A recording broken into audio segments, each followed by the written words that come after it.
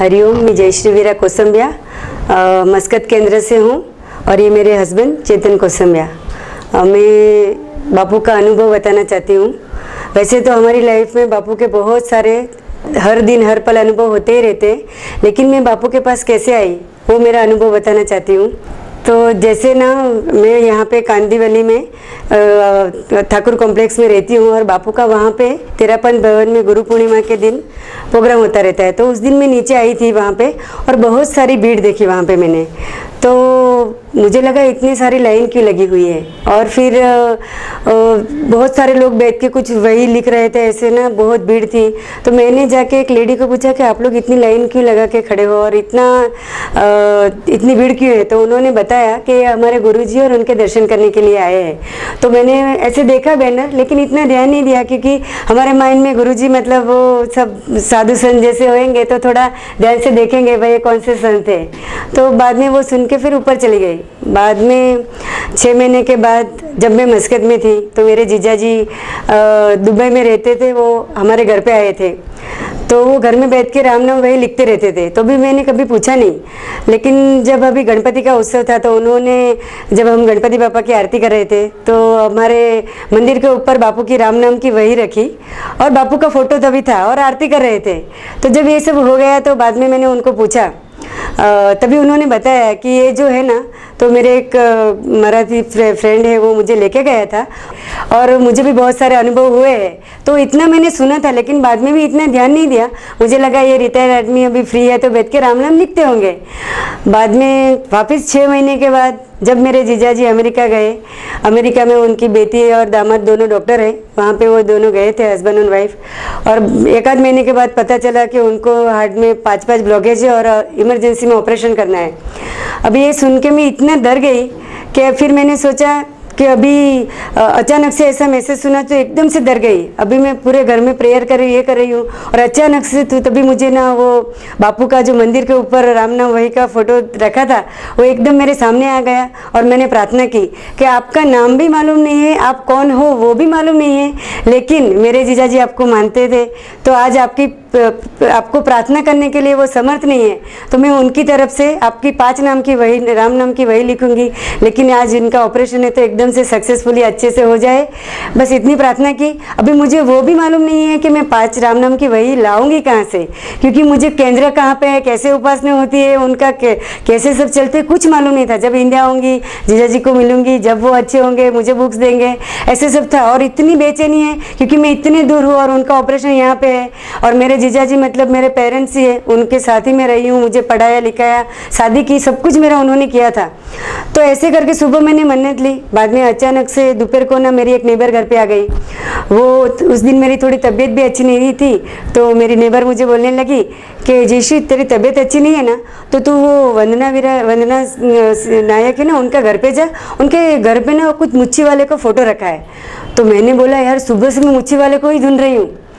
अभी उसने बोला, जैसे बोला ना तो बाद में उसने मुझे वो वंदना विरा जो हमारे केंद्र के प्रमुख है, उनका नंबर दिया। फिर मैंने उनसे बात की तो उन्होंने मुझे बापू का मंत्र दिया वो मन सामर्थ्य दाता श्री अनिरुद्धाय नमः। उस, उन्होंने बोला, ये मंत्र का जाप कर और राम रक्षा बोलने को दिया था। और बाद में उन्होंने बोला कि मैं पाँच नाम, राम नाम की वही तुझे देती हूँ। और मेरी नेबर के हस्बैंड और केंद्र प्रमुख हमारे दोनों एक ही भी ऑफ़िस में काम करते हैं। तो जब वो खाना खाने घर पर गए तो मिसिस नायक ने उनको बुक्स दी, और जैसे मेरे नेबर साम को पाँच बजे घर पे आए तो मेरे घर पे वो पाँच नाम, राम नाम की वही आ गई। मतलब उस दिन से बापू हमारे घर में है। जैसे सुबह मैंने प्रार्थना की कि मुझे बुक्स चाहिए और शाम को पाँच बजे वापस घर में बुक आ जाना। इससे बड़ा अनुभव मतलब जब भी मैं सोचती हूँ, कैसे कैसे हो सकता है? सुबह मैंने सोचा और शाम को आ गई। कहाँ से आएगी? वो भी मुझे मालूम नहीं था। और बाद में तब से मैं बापू के पास हूँ और एवरी थर्सडे में वहाँ पर जाती थी।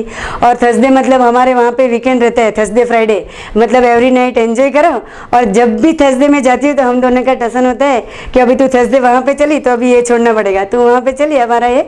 अभी होगा। ऐसे ऐसे करके जब मैं जाती थी, तब मेरे हस्बैंड और हम दोनों के बीच में बहुत सी ऐसी बातों के लेके फिर वो आते थे, नहीं आते, ऐसे ऐसे करके जब मैं फॉलो करने लगी, बाद में अब ये बताएँगे कि वो कैसे आए।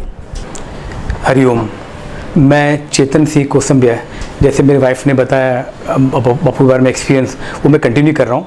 कि जैसे मैं बापू बस कैसे आया तो मेरी वाइफ तो फॉलो कर रही थी तीन महीने से और उसका अनुभव उसने बताया। हफ़्ते थर्सडे को जाती थी तो मैं हेजिटेट करता था कि नहीं जा, मुझे नहीं जाना है और जब भी उसको जाना था तो मैं उसको बाहर छोड़ के आ जाता था। लेकिन वैसे करते करते ढाई तीन महीने महीना निकल गया। काफ़ी जिन्होंने मुझे मुझे कोशिश भी की कि आप आइए, अंदर आइए, बात करिए तो मैंने थोड़ा बात करके मैं, मुझे कुछ कॉन्फिडेंट नहीं था तो मैं इसलिए अंदर जाता नहीं था।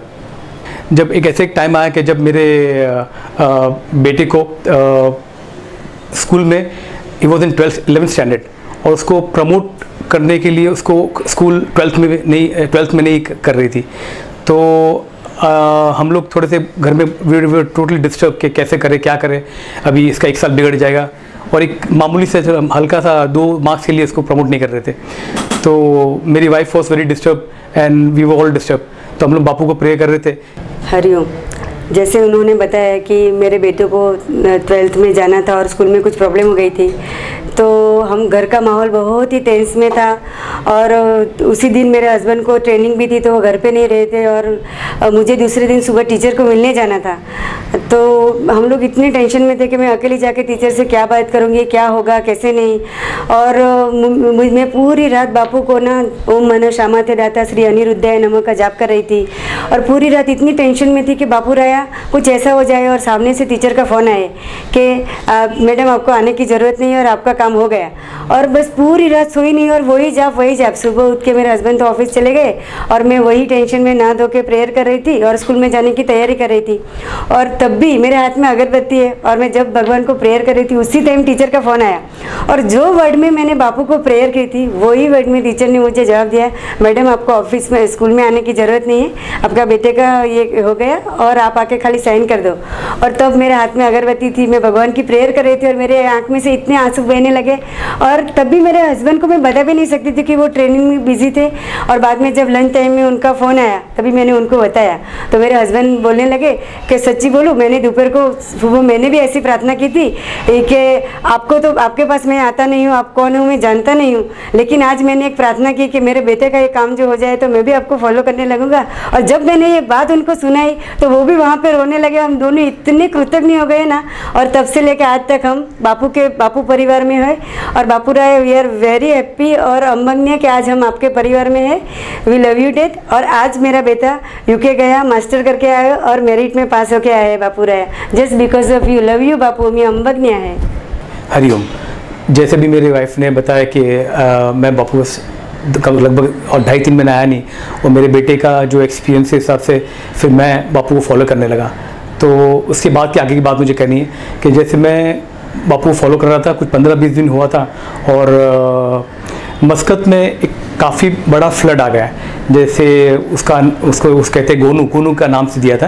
It was a very big flood तो हम लोग जहाँ रहते थे वो बिल्डिंग में वो एरिया पूरा पानी से भर गया, पूरा फ्लड हो गया और काफ़ी सारी हमारी बिल्डिंग की जो सब सब गाड़ी थी आजू बाजू सब जिसकी गाड़ी थी, सब गाड़ी भी पूरी पानी में मतलब बह बह गई किसी की गाड़ी, क्या हुआ क्या हुआ। और मेरी गाड़ी भी मेरे सामने, नज़र के सामने धीरे धीरे बह तो नहीं गई लेकिन वहाँ पर डूब कर बैठ गई गाड़ी वहाँ पे। और जब वो गाड़ी बैठ गई तो मैं तो बापू का नया नया आया था हार्डली बीस पच्चीस दिन हुआ था बापू के आने के मतलब तो उसमें मैंने बापू का एक छोटा सा फ़ोटो रखा था। तो जब नेक्स्ट डे जब जब पानी सब उतर गया, काफ़ी उतर गया तो मैं गाड़ी मतलब गाड़ी के पास गया नीचे। तो वहाँ पे पूरा, गाड़ी में तो पूरा किचड़ था पूरा। तो और उसमें मेरे गाड़ी के इंश्योरेंस पेपर भी थे। बिल्डिंग वाले बोल रहे थे कि अगर आपकी गाड़ी फ्लड कवर्ड है तो आपको पैसा मिलेगा, नहीं तो नहीं मिलेगा तो काफ़ी जन के गाड़ी मतलब कवर्ड नहीं था तो उनको नहीं मिल। रहा तो उनका पेपर घर पे था, लेकिन मेरा पेपर गाड़ी में था। तो मैंने बोला, ठीक है, मैं गाड़ी से ट्राई करूँगा पेपर निकालने के लिए और फिर निकाल के देखते हैं कि उसमें है कि नहीं फ्लड कवर्ड है तो मुझे पैसा मिल जाए गाड़ी का, नहीं तो मेरी गाड़ी का पैसा मतलब मेरा गया। तो वो सच गया लेकिन जब दिल में, पहले मैं जब गाड़ी चेक करने गया तो मेरे दिल में ये था कि मेरे बापू का फ़ोटो मिल जाए मुझे। तो मैं ढूंढा यहाँ वहाँ तो बापू का फ़ोटो कहीं भी मिला नहीं। छोटा फ़ोटो था, शायद डेफिनेटली पानी बह गया रहेगा। खैर तो मैंने अपना वो एनवलप का वहाँ किचड़ से गाड़ी में से अंदर से हाथ डाल के निकाला तो एनवलप निकल गया। पूरा वो एनवलप पूरा किचड़ में था तो कुछ देख नहीं सकते गिल्ला था। तो मैंने वो वो, पे, वो पेपर लेकर के घर पे ऊपर आया ऊपर आके रखा। इतने मेरे बॉस का फ़ोन आया कि चेतन अगर ओमान में हमारे मेरे बॉस दुबई में है तो जनरल मैनेजर तो उन्होंने बताया कि आप फैमिली लेके दुबई आ जाओ। तो दुबई में आपको अकोमोडेशन देंगे होटल में और stay for as long as you can stay because यहाँ का कंडीशन इतना ख़राब था कि पानी लाइट वगैरह सब कुछ कट गया था कुछ था नहीं इट वॉज़ टोटल डार्क और रहने का मुश्किल हो गया था। इट वॉज़ समर गर्मी बहुत थी। तो मैंने बोला चलो ठीक है। तो मैंने फिर मेरे पास गाड़ी भी नहीं है अभी। तो हमारी कंपनी के कॉन्टैक्ट से, जो रेंट कर देते उससे मैंने कॉन्टैक्ट किया। तो उसने बोला मुझे मेरे पास सिर्फ़ एक ही गाड़ी है। अगर आप एक अभी आ जाते हो तो मैं गाड़ी दे सकता हूँ। तो जब मैं अपने बापू परिवार के एक हमारे बापू भक्त थे उनको मैंने फ़ोन किया कि आप मुझे वहाँ लेके जाइए? मुझे गाड़ी लेनी रेंट कर। तो मैं वहाँ जब गया तो तो वहाँ देखा तो बीस पच्चीस लोग खड़े थे एक गाड़ी के लिए। तो आदमी ने बोला तो आप दो मिनट लेट आते तो मैं आपको गाड़ी नहीं देता था।